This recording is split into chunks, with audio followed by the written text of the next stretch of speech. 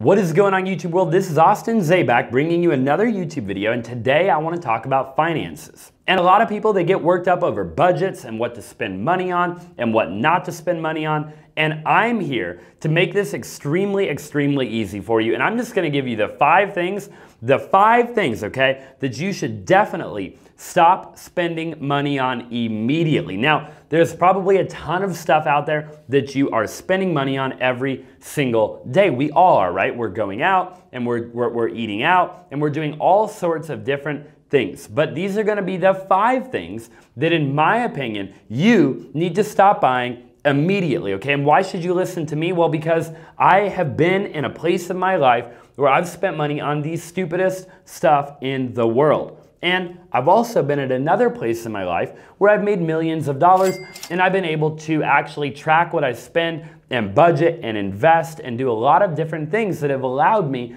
to get to where I'm at. So, if you haven't already, go ahead and smash the like button, click that subscribe button, and let's go ahead and jump right into the five things again that you've got to stop. Like right now, today, you've got to stop spending money on immediately. All right. Item number one is lottery tickets. And you know what I'm talking about here, right? Once or twice a day, you go to the gas station, you take a look around, maybe you grab a snack or a Red Bull, and then those lottery tickets just catch your eye. You think, what if this is it? This is a day I spontaneously win $65 million, and so you buy a lottery ticket and you feel good about it. Or maybe you go to the grocery store and you buy some groceries and something happens and those dang lottery tickets just catch your attention. Well, the reality of it is, if you're watching this video, you've most likely never won the lottery, and I'm just kind of shooting it to you straight here. According to CNBC, the average American spends $1,000 a year on lottery tickets, including everything obviously from scratch off cards that come out of vending machines to the Powerball and Mega Millions and everything in between. And you probably do this hoping, obviously, that one day you win the lottery, right? You take your mega millions of dollars and you most likely blow every last penny buying new cars and new houses, new clothes. You travel the world and you splurge on anything that you lay your eyes on. And most likely, you'd find that by doing so, your happiness level actually does not increase at all. Like about 70% of lottery winners, you'd wind up going broke within a few short years, and you'd end up just as unhappy or as happy as you are right now. And now I am of course not here to tell you why you would or wouldn't be happy winning the lottery. I'll just go ahead and probably save that for another video. And I mean, after all, as you probably heard, you have a higher probability of getting struck by lightning than you do of winning the lottery. I mean, I think getting struck by lightning is like 1 out of 12,000 and winning the lottery is 1 out of 258 million.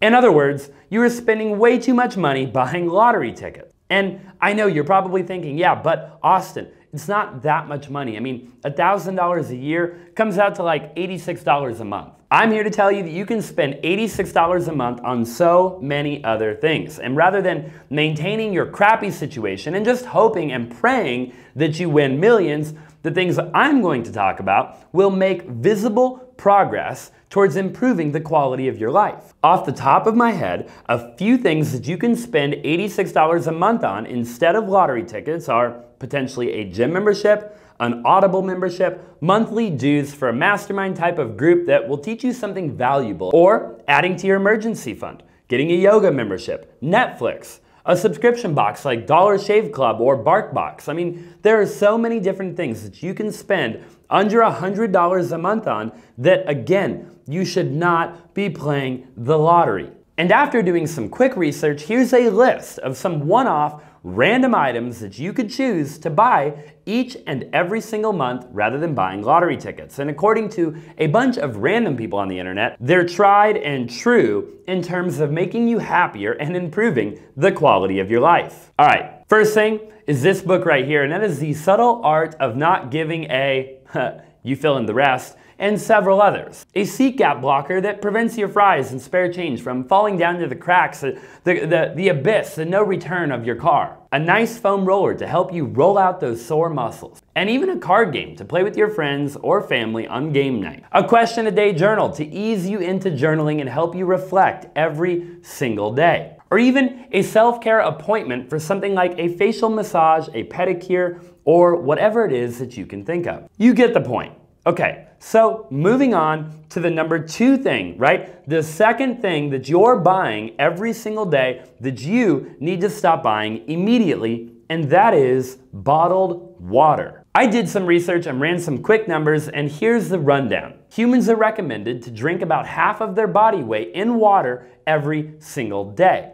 Let's just say 80 ounces on average. So in order to get your daily water intake, you need to drink about 4.7 bottles of water, or basically five bottles of water every single day. And basically, you're going through about a case of water every five days. 73 cases a year, just to kind of give you a rough estimate.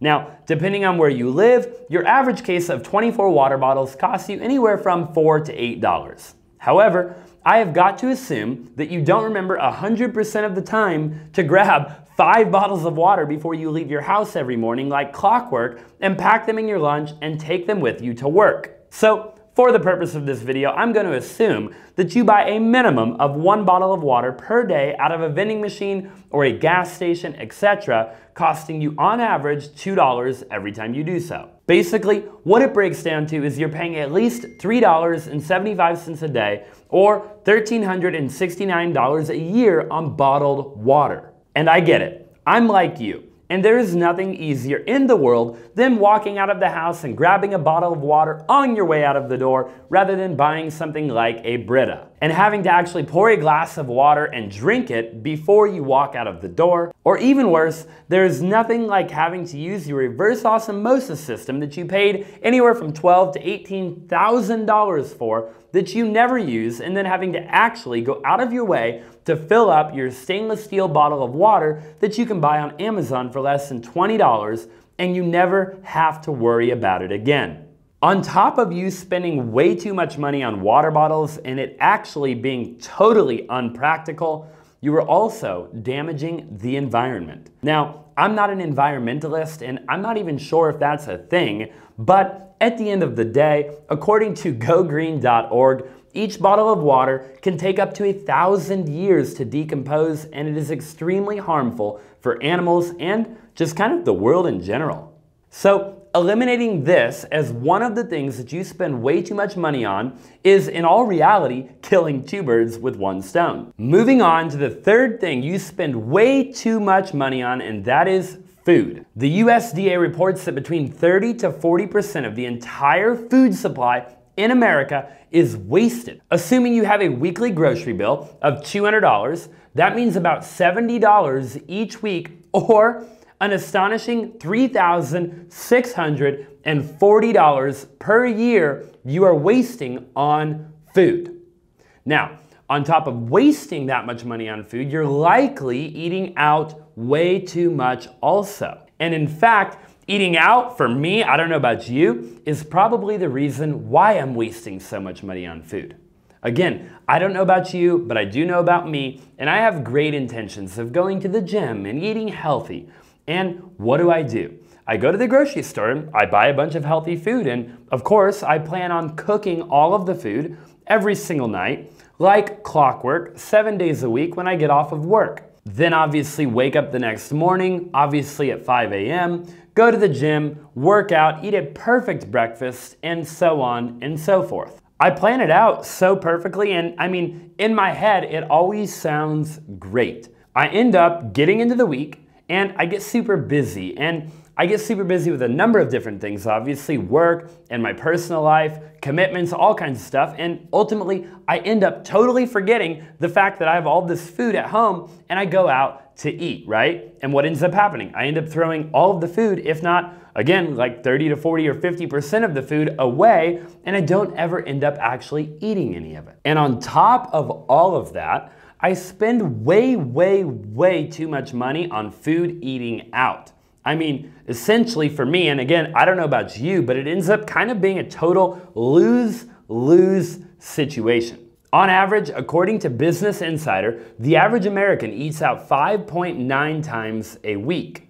That number is kind of astonishing to me, but at the same time, I mean, it also makes total sense because I don't know about you, but for me, I probably do the exact same thing. So basically, depending on your age, I mean, statistically speaking here, looking at the numbers, on average, you're gonna spend between two and $5,000 a year eating out. And to be honest with you, I think that is probably the minimum of what you're going to spend eating out. Again, depending on your age and depending on obviously where you live and what it is that you do for work and things of that nature. Now, obviously that is not including the food that you buy at the grocery store and end up throwing 30 to 40% of it away. Look, basically what it boils down to is this you're most likely spending roughly, on average, $10,000 a year on food between the grocery store and eating out. And again, that, in my opinion, is the minimum. So,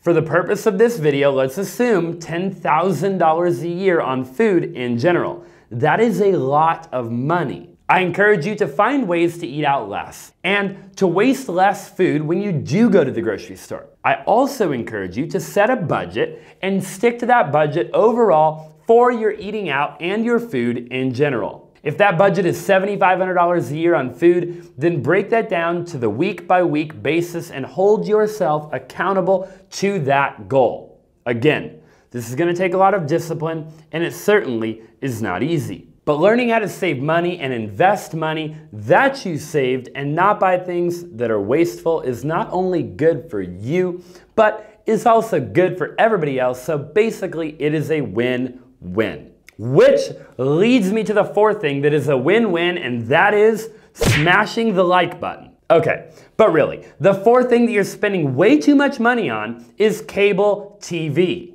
I can't even really believe that I have to personally be the guy to tell you this, but cable TV in 2020 has got to be the dumbest thing that you are spending money on on a month to month basis. Let's just say that on average you spend $100 a month on cable TV. Now, that is absolutely ridiculous when you consider that you can watch everything essentially for free. I mean, watching this YouTube video right now is free, and I know as much as you would love to watch the Super Bowl, this video is a lot better than that. I'll even give you a tip on how to watch Netflix for free, and that is to bum a family or friend member's Netflix username and password. I mean, you can literally log in to multiple devices with one account. So, why in the world would you pay for Netflix if your mom, your dad, your sister, your brother, or your best friend already pays for it? Moral of the story here is that it's 2020. And while TV might not be bad for the environment or bad for animals, it is bad for your bank account. And that is good enough for me to land this one as number four on our list of the five things that you are spending way too much money on. All right, last but certainly not least, number five thing that you spend way too much money on is entertainment. This one really bothers me at my core. I mean, depending on the source that you're researching, on average, on average, Americans spend 150 to 200 billion dollars a year on entertainment. And yeah, that was with a B, which is really just insane. I mean, do we really need to be entertained all the time? What in the world are we even spending that money on? Here is a list of things that we spend it on movies, shows, music, movie theaters, fashion, animation, sports, games, books, comedy, video games, sporting events, magic shows, carnivals, concerts, food festivals, shopping festivals, travel,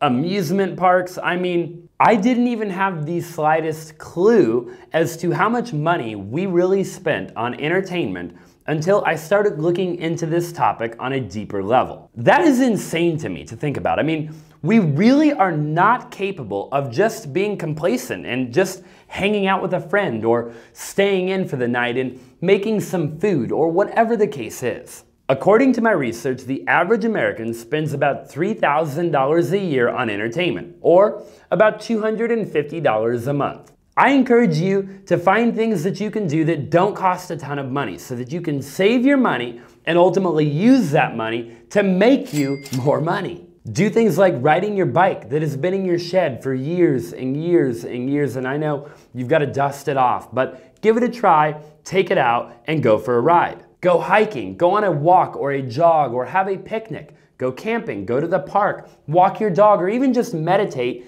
and work on bettering yourself. Look, here's the deal. As Americans, we spend way too much money every single month on entertainment. I mean, the reality of it is, if you made it this far in the video, you must care on some level about your finances. And on some level, you must want a better future for yourself, or at least your future family.